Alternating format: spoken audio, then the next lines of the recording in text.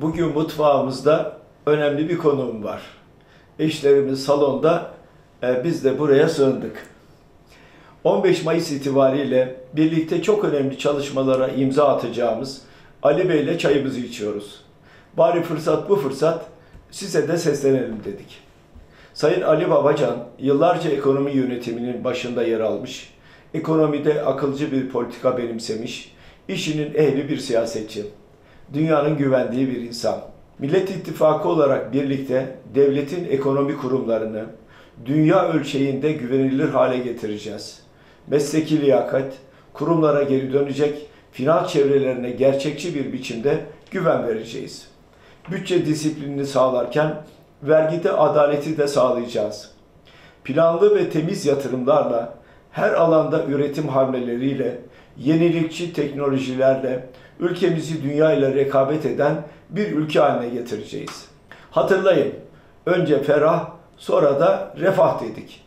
Türkiye hızlı nefes aldırıp bizi bu krizden çıkaracak ve sonrasında da kalıcı refah sağlayacak ekipler hazır.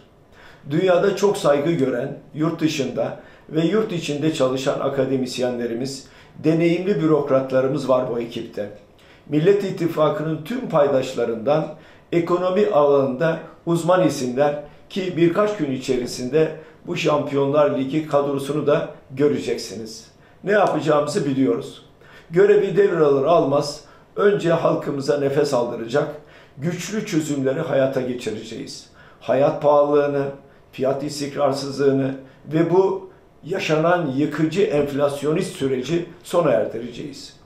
İç ve dış kaynakları harekete geçirerek ekonomimize nefes aldıracağız. Ben bunun için birçok ülkeye gittim. Bu ekibi söyleyince önümüzde tüm kapılar açıldı. Temiz sermaye, gideceği ülkede kadro ve liyakat görmek istiyor.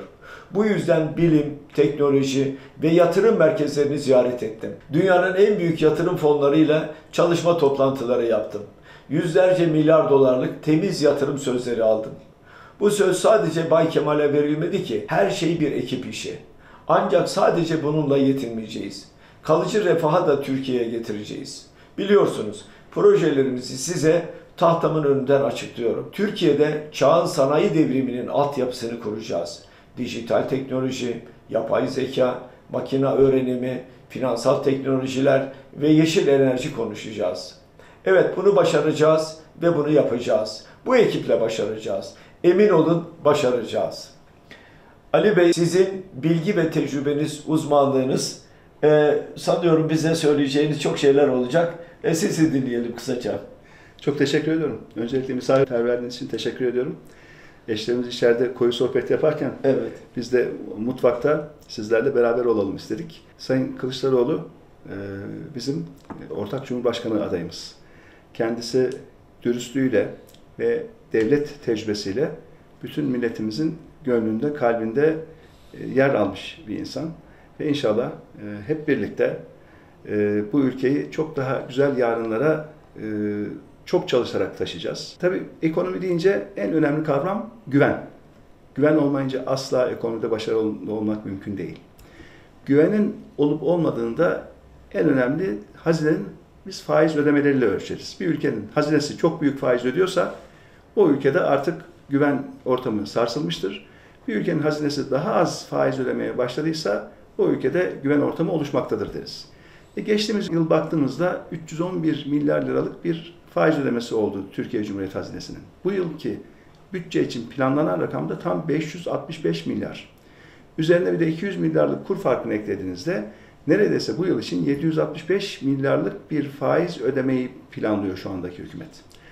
Bu para tam 1 milyon tane konutu yapıp bedava vatandaşlarımıza vermeye yetecek büyüklükte bir para.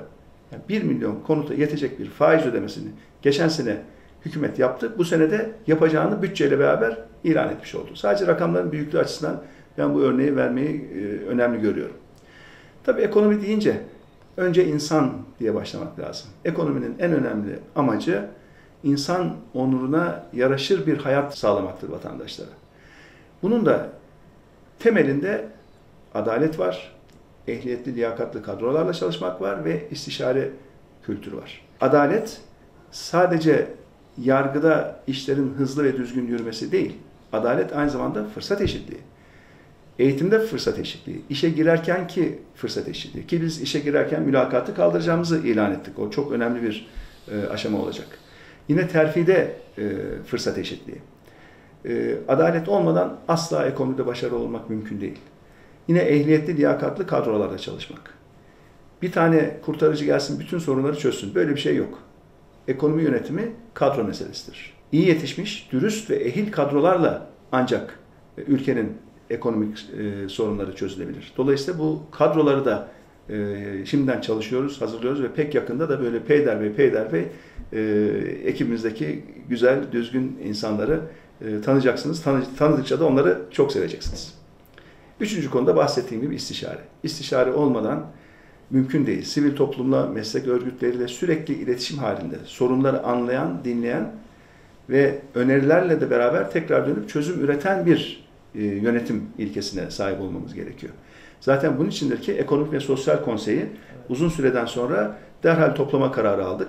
Ve kısmet olursa hükümet kurulduktan sonraki ilk işlerden birisi hemen Ekonomik Sosyal Konseyi toplayıp sosyal taraflarla etkileşim içerisinde politikalarımızı neticelendirip uygulamaya başlamak. En önemli amaçlarımızdan e, bir tanesi de bu.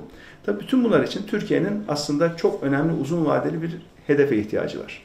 Bu hedefte Avrupa Birliği standartları. Avrupa Birliği'ne üye olalım ya da olmayalım. Bu ayrı mesele. Ama bizim 86 milyonluk nüfusumuz, Avrupa'nın en büyük ve en genç nüfusu Avrupa Birliği standartlarında bir hayatı hak ediyor. Ve Avrupa Birliği standartlarına ulaşmak için de hukukun üstünlüğünde, demokraside, temel hak ve özgürlüklerde ama hayatımızın her safhasında şu giydiğimiz gömleğin kumaşının kalitesinden tutun da içtiğimiz suyun kalitesine kadar vatandaşlarımızı Avrupa standartlarında bir hayata, hayat şartına ulaştırmak. Bu en önemli hedefimiz. Aynı zamanda Avrupa Birliği ile vizesiz seyahat.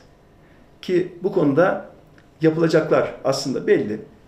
Çok zor şeyler de değil. Biz 3 ay içerisinde Avrupa Birliği ile olan seyahatlerde vizenin kaldırılmasıyla alakalı üzerimize düşeni yaparız. Türkiye olarak bunları tamamlayabiliriz. 3 ayda bu noktaya işi getiririz. Ki gençlerimiz Avrupa'yı görsünler. Avrupalılar Türkiye'ye daha rahat gidip gelebilsinler. İletişim yoğunlaşsın. Ekonomi çok daha yoğun bir e, etkileşim içerisine girsin ve Türkiye bütün vatandaşlarımızın Türkiye Cumhuriyeti pasaportunun kıymetli olduğu bir noktaya ulaşsın. Bütün bu yoğun çalışmada kuşkusuz çevreye çok dikkat edeceğiz. Ekonomik büyüme ve kalkınmada hızlı koşarken çevreye zarar verip nesiller arası adalete e, zarar getirecek bir e, tutum asla almayacağız.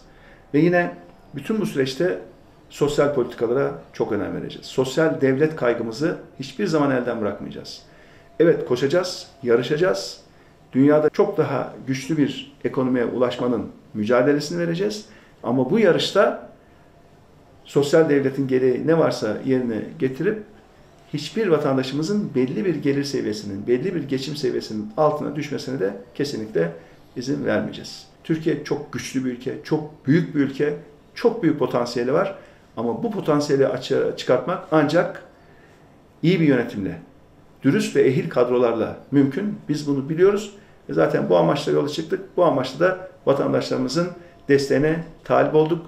İnşallah kara kış çok yakında bitecek ve ülkemiz nice baharlara doğru emin bir yolculuğa çıkacak. Çok teşekkürler Sayın Genel Başkanım. Liyakatsizlerin ülkeyi getirdiği felaketten dolayı soğanı bile fiyatını sorarak alıyor halkımız. Biz adaletsizliğe, kötü yönetime ve kutuplaştırmaya karşı birleşe birleşe kazanacağız. Cumhuriyetimizin ikinci yüzyılında Türkiye'miz bu Şampiyonlar Ligi kadrosuyla ışıl ışıl parlayacak. Ben de ülkeyi rayına oturttuktan sonra huzurla emekli olacağım ve bu ekibin başarılarıyla gurur duyacağım. Bu da benim en büyük arzum. İyi akşamlar. Hepinize iyi akşamlar.